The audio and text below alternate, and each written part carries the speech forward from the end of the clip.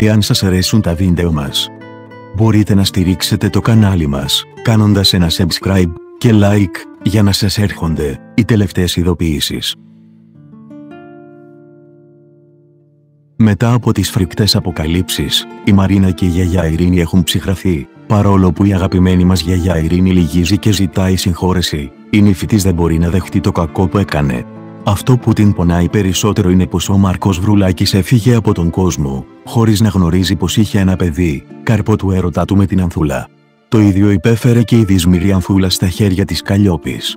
Ο Άγγελος γνωρίζει όλη την αλήθεια και αποφασίζει να σταθεί στο πλευρό των Βρουλάκηδων. Κλείνει κάθε πόρτα στην θεία του την Καλλιόπη, με την Μαρίνα να τον αγκαλιάζει σαν παιδί της. Άλλωστε οι Σταματάκηδες είναι υπεύθυνοι για τον θάνατο του αδερφού του, αλλά και του πατέρα του. Η Μαρίνα συζητάει με τον Αντώνη για την γιαγιά Ειρήνη, προσπαθώντας να βρει δύναμη. Ο αστυνόμος την αγκαλιάζει και τη συμβουλεύει να βάλει τη δύναμη της συγχώρεσης μέσα στην ψυχή της. Η Μαρίνα όμως είναι πάρα πολύ ψυχρή και απόμακρη. Αυτή η στάση της Μαρίνας θα προβληματίσει αρκετά την γιαγιά Ειρήνη. Φίλες και φίλοι, τα λέμε στο επόμενο βίντεο.